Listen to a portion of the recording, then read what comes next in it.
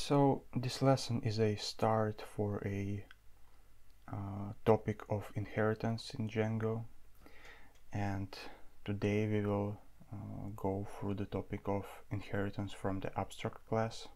So what it means is that for example if uh, uh we have a class person and we don't really want to use it so we don't want to uh, create the objects of the class person but uh, we need to inherit from it and use it uh, for other classes uh, where we will actually create objects. We can define this person class as abstract and that would mean that we are not able to create the objects of it. So to do that uh, we just need to add this abstract option as true in uh, meta class. So yeah, uh, we define that the class is abstract uh, using the meta options. And then after that we can create, for example, student. And I don't know, student will have study program.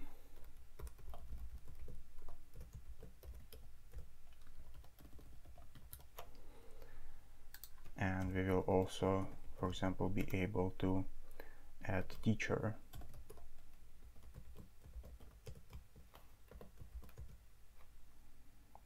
And teacher will have for example uh, research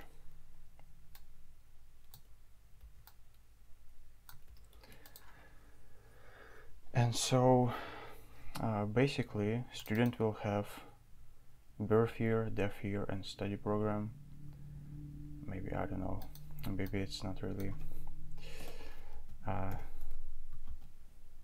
appropriate right now so I will delete death year from the previous lesson. So anyway uh, the student will have study program and the birth year and the teacher will have uh, research and a birth year and also uh, these two classes which inherit from the class person they will also inherit from the meta class. Of course they will not inherit this abstract property. Uh, they will not uh, do it but for example if you define ordering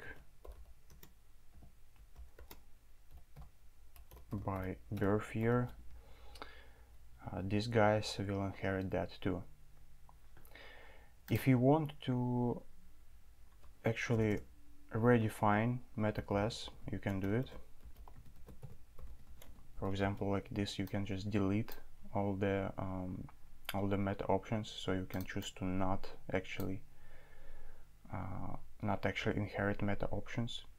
But if you want to inherit uh, these meta options and add some more to it. If you want to uh, you need to subclass this meta options by persons met meta.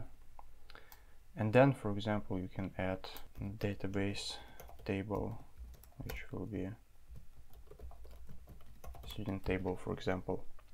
So in this case you will actually uh, you will actually have a ordering and DB table uh, in this uh, meta class for students. There are also some problematic stuff that you might not want to actually inherit. For example, uh, for example, this uh, DB table. Like you don't want to define a uh, DB table for a person and then just let uh, teacher and student uh, basically inherit uh, this value of db table. So you need to be careful with some stuff. And one more thing that you need to be uh, careful with is actually um, relations between models. For example uh, let's say that we have uh, university place. And here we have name. Well let's just uh, leave the name of the university.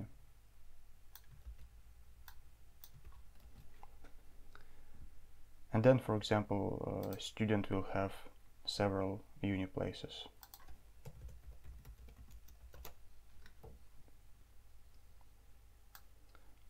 But also teacher will have several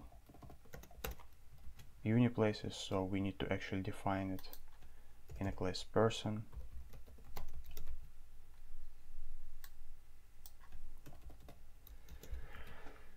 Uh, so here we define that the person will have a uh, few uni places. And we need to be careful with related name if we want to define it uh, because it will also be inherited here right? So student will have places and teacher and teacher will have places. Uh, but the related name uh, will be inherited too. So in order to not inherit the same related name we actually can pass some stuff uh, to the string as application label and class. And uh, in this case for example as we are in models guide. Uh, this related name will be models guide person related. But for our student for example this related name will be models guide student related. And here it will be models guide teacher related.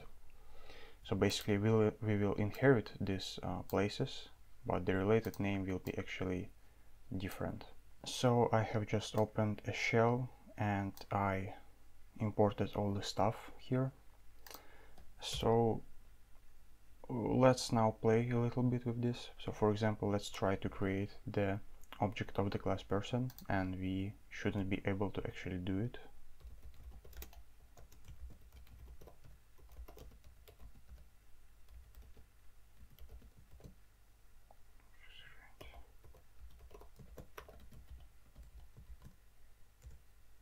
yes and we have an error because this uh, class is abstract. Uh, but we should be able to actually create student.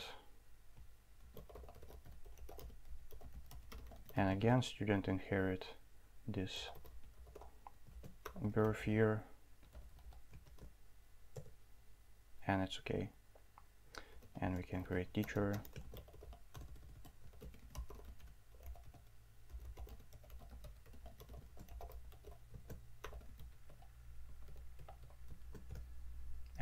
also okay. And apart from that uh, let's create one uh, uni place. For example yeah let's create just one uh, university. We will call it uni. Actually yeah okay. Anyway let's let's uh, keep the name though it's not really recommended to do it in plural form but let's just keep it for now objects create name uni and let's for example student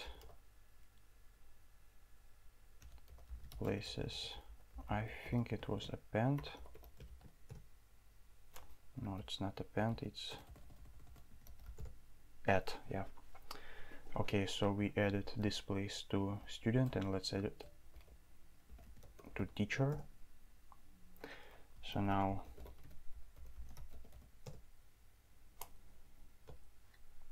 we kind of can uh, we can see the places of the student and the teacher but what is important is actually related name.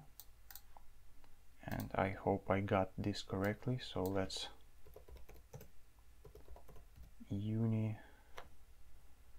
models teacher related? Yes uh, and you can see now that we use this related name for the uniplace and using this related name we can actually see the teachers which are associated with this university and the same can be said about student and we can also see student and these related names are different though they were inherited from this uh, guy but they are different because uh, it's based on the app class and the class app label and the class. And it works